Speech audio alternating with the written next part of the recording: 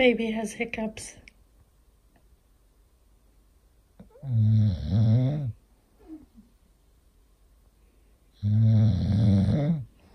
Piggy doesn't want to leave my side because um, I went to my friend's house yesterday and I was gone for like four and a half hours.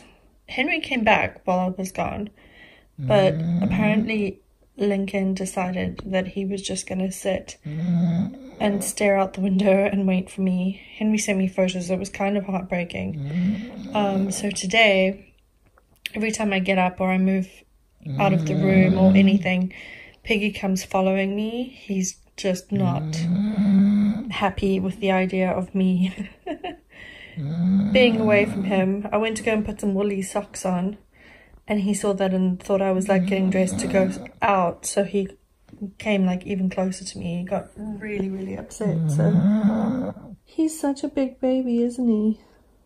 Aww. So yeah, he is lying as close to me as he possibly can. Mm-hmm. it feels so funny having hiccups going off in your belly.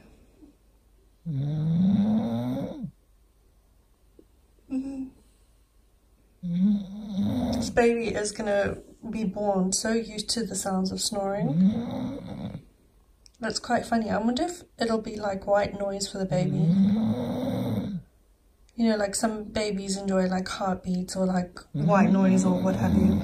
I wonder if ours will just sleep every time he hears Piggy snoring.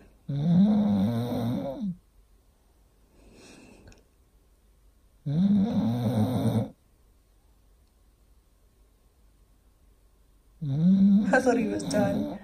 It usually goes on for about 10-15 minutes. He hiccups for a long time.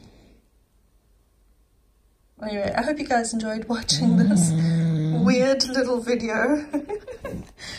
oh, it just so happened that Piggy was lying right next to me when it started, so I thought I would share this sweet little moment with you. I um, am 36 weeks pregnant now. How crazy is that? nine months, you guys. That's crazy. Have a great day, everyone. Bye.